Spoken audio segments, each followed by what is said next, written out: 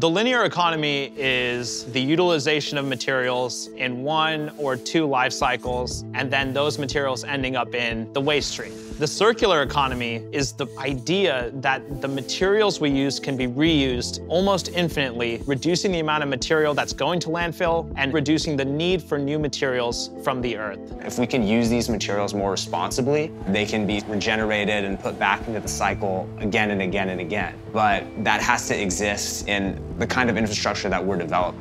Our vision is within the next three years to be producing 50,000 tons per year. And that's material that otherwise would have been incinerated, and it's also displacing material that otherwise would have come from oil. The fundamental basics of clothing are about stories. And so many designers are using sustainability to tell a new and compelling story because it's one of these things that literally touches every single person.